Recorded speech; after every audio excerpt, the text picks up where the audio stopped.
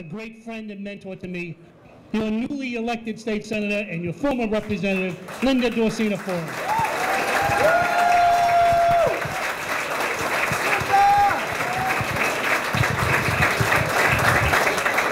Good morning, everyone. Thank you, Congressman Capuano. It is great to be here with all of you. It is a beautiful day to be a Democrat, isn't it? But it's great to be a Democrat every day. Um, I want to take this time to recognize one of my colleagues in government. State Representative Carlos Henriquez is here, who's joined us.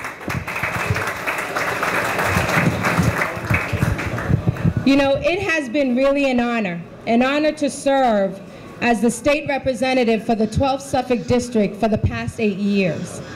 This is an incredible district, an incredible community with a lot of passion, hard workers, and people who are committed to bettering our neighborhood. And the 12th Suffolk District now represents 20% of the first Suffolk seat, which I'm excited about. Um, as the state senator, I'm excited to continue the work that we've done, building and continuing to build the partnership that we've built over the last several years. But it is great to be here as a Democrat and standing with our good friend Dan Cullinane. Um, you all know this takes a lot of work and it takes a lot of courage um, to do this. This was a spirited and engaging campaign and I want to take this opportunity to recognize, recognize the Democratic candidates who, put, who got the courage and the leadership to put their name out there. I want to recognize Mary Tuitt, who's here today. Thank you. Want to recognize Stephanie Everett, who's here today, and her family. Thank you.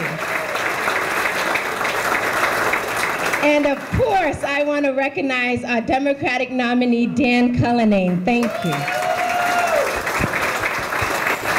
As you heard earlier, you know, Dan worked on a lot of campaigns and he's been plugged in the community for a long, long time. You know, Dan was my field director, worked as my field director in the Senate campaign, and a lot of our supporters, right from the campaign, worked on his.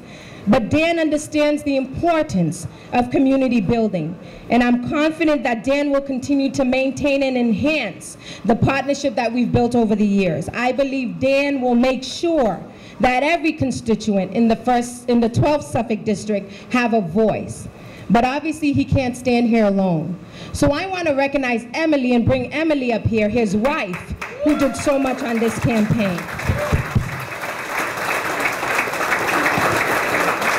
So Emily would knock on doors. She is out there holding signs and doing all that she could, she could do. So thank you for allowing Dan, and that's what it is because it is a partnership, right? Allowing Dan to put his name forward and to run for office. And I want to thank Mr. and Mrs. Cullinane.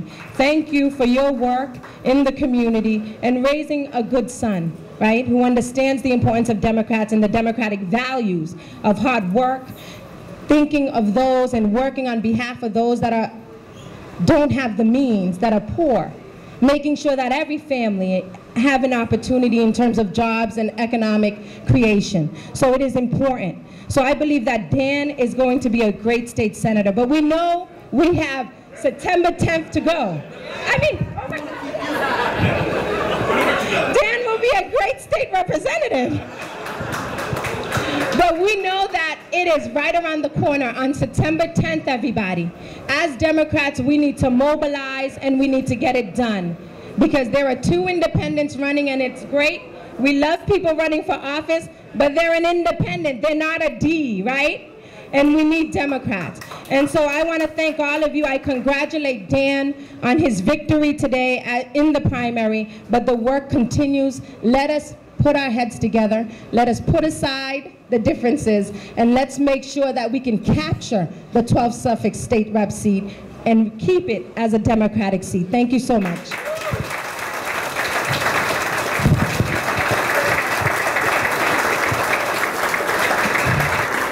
And in this amazing state of ours, we have incredible leadership. You all know this, but it starts from the top. And we recognize John Walsh, who we're going to miss as the head of the Mass Democratic Party, but you're still going to be around. We'll still bug you. Um, but it starts with the top. And how are we working on policies and legislation that are going to impact all of you here and folks in our neighborhoods and our communities around the Commonwealth. And so our governor, Governor Deval Patrick, has done an amazing job. He has been a leader in standing up for the issues that we all care about, making sure that there's opportunities and jobs for our families, making sure there's housing for people in our neighborhoods, making sure we are ahead in creating technology so we could be ahead of the other states in our great country.